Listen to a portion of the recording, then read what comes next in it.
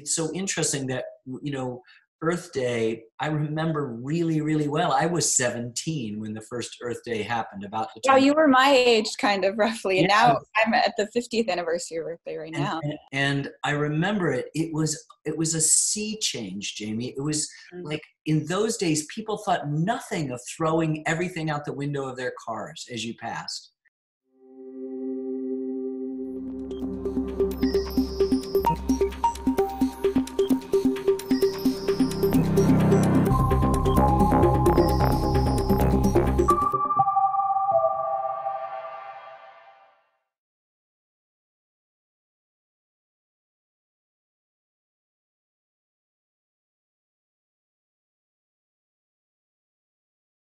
Hi, Jamie. So nice Hi. to meet you. meet you too. It's been a minute since we've been in touch since like 2018, kind of, but we've never actually talked. So, I know that you've done some documentaries on um, different environmental disasters in history, like the Dust Bowl. How has, um, I guess, your work as a historian or a historical documentary filmmaker kind of contextualized this moment in history for you? Mark Twain is supposed to have said that history doesn't repeat itself, but it rhymes. And mm-hmm. so I'm always really struck by what a great teacher the past is, that human nature doesn't change. And so we see in today's events antecedents in previous events. Several years ago in 2012, we did a film called The Dust Bowl, which was at that point then the greatest man made ecological disaster uh, right. uh, in world history. It is no longer that but it became with a history with a film that basically never mentioned climate change it became a huge object lesson in climate change what's interesting about history is its durability that its themes are evergreen you know Earth Day, I remember really, really well. I was 17 when the first Earth Day happened. About the time. Oh, you were my age, kind of roughly, and yeah. now I'm at the 50th anniversary of Earth Day right and, now. And, and, I was about to turn 18 that in a couple of months, and I remember it. It was it was a sea change, Jamie. It was mm-hmm. like in those days, people thought nothing of throwing everything out the window of their cars as you passed and I've never seen a world like that. I mean, like obviously we're in environmental destruction right now, but it's considered rude to do something like that, even if you know it's considered okay for corporations to trash everything. It's interesting how it's things can get normalized so quickly, and so I'm wondering if you know maybe in the future the next Ken Burns who makes documentary films about the history about this moment in time, um, will will have seen it, it will have seemed like common sense to take urgent action on climate change. And that's very, very human to do that. It's so right. interesting that you can have an impulse, you can have this overnight, all of a sudden, every all the roadsides cleared up for the most part. And people seem, yeah, of course, that's a ridiculous thing to do. But but thoughtlessness always reimposes itself in, in the human story. Right. Um, there's I, I grew up where there were still I can remember fountains or signs, fading signs that said colored.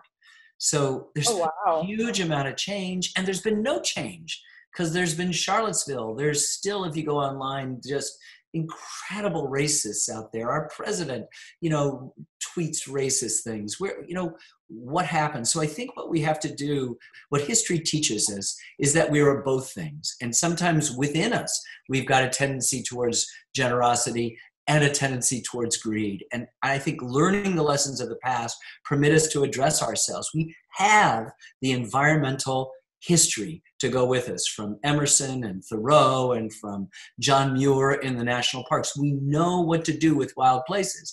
Does it completely check the acquisitive nature of people who look at a, a beautiful forest and think, board feet, people who look at, at, a, at a river and think dam and hydroelectric power, people who look at a beautiful canyon and wonder what mineral rights can be extracted. No, it right. doesn't end that impulse. Well, that impulse is, it's just interesting that you say that because right now um, with the coronavirus, um, there was a recent EPA decision, or Trump's EPA decided to pretty much say that all environmental regulations were kind of like on pause indefinitely because of the virus.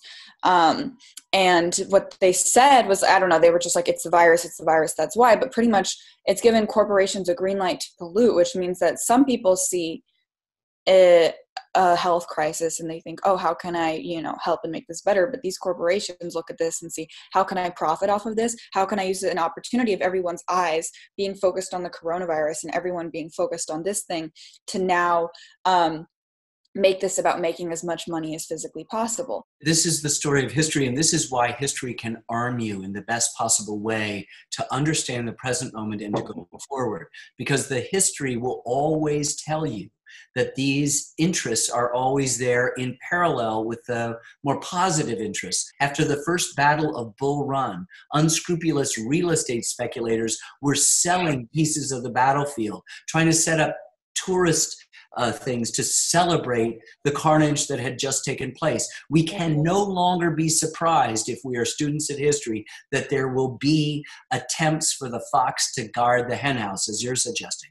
What we have to do is make the case for the good side, what Lincoln called the better angels of our nature, to go forward, that we can see the interrelationship of human beings with this planet and we can see the increasing fragility of that. The problem is that a lot of people don't know history, and it's not a matter of, oh, people are dumb or people, it's a lot of, you know, the way school teaches it is like memorize these battlefield dates and that's it. Or not, don't, don't think critically, don't think, then how are we going to be able to um, actually get out of these issues without, and, you know, we're going to keep being surprised by the same things, and we're going to keep being blindsided by the same things over and over again and never learn for example japanese internment like people a lot of people don't know that that even happened in the United States. And so, how can you learn from something if you don't know that it happened?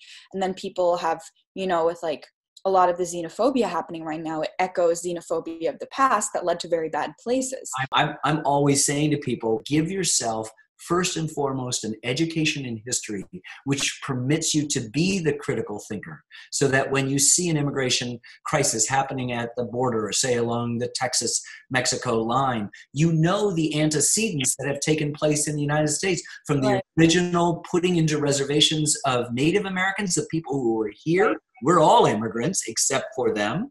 And mm-hmm. then uh, and anthropologically they are immigrants too, um, to up to the Japanese internment that you mentioned. All of these things fit into a pattern, and when you are dispassionately with a discipline, understanding this rigorous history, then these decisions don't seem as complicated, and it's really easy to separate the wheat from the chaff. That is to say, the truth from the lie and I, and I feel like you know people might think oh how does this relate to climate change? Because it's supposed to be about climate change but i think it does relate a lot to the climate relates. colonization and the current like systems of greed and uh, modern capitalism and everything like that is why we're in this problem in the first place. But a lot of people don't even see flaws in that. You know we still celebrate columbus day. We still celebrate uh, in a lot of places. We still celebrate um a, like we still have this mythology of like the founding fathers and everything was beautiful and then they made the most free best possible government in the world. well you don't want to get away from that what you want to do is embrace something that doesn't throw out everything about the old and doesn't ignore all the things you say. Let's let's admit right from the top as i do in almost every conversation that the guy who wrote our creed we hold these truths to be self-evident that all men are created equal stop right there owned more than 200 human beings as he as he wrote it and never saw the contradiction or the hypocrisy.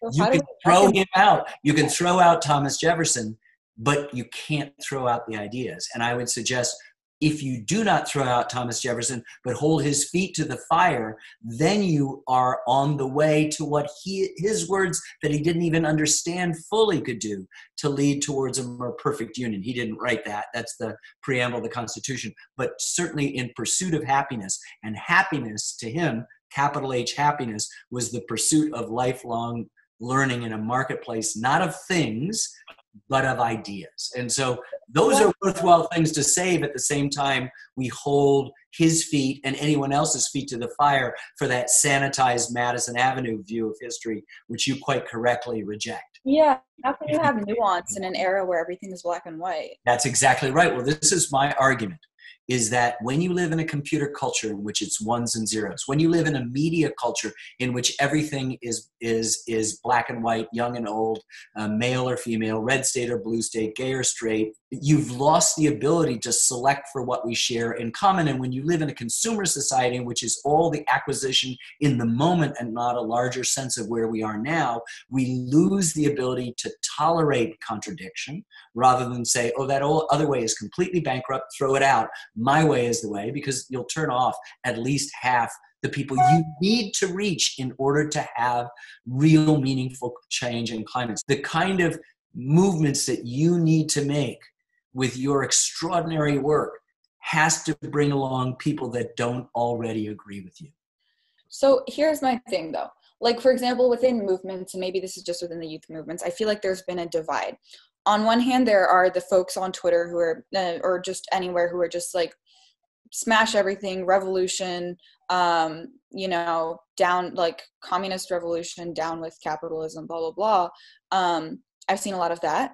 Then I've seen more, you know, and, and I, I, I categorize myself in the more of the activists, the more Bernie Sanders, Alexandria Ocasio Cortez type way of thinking and politics, and like you know, trying to both balance, you know, that whole like, oh yeah, something really drastic has to change, but also like, how do we do this in a um, nuanced, meaningful, um, productive way? And then you have the folks who are just like holding on to the old, or what people would call, I guess I'm talking within the climate movement, like the neoliberal hyper capitalist solve this with more free market capitalism solve this with you know you have people who want to keep the status quo who don't understand intersections of like environment and racism and things like that.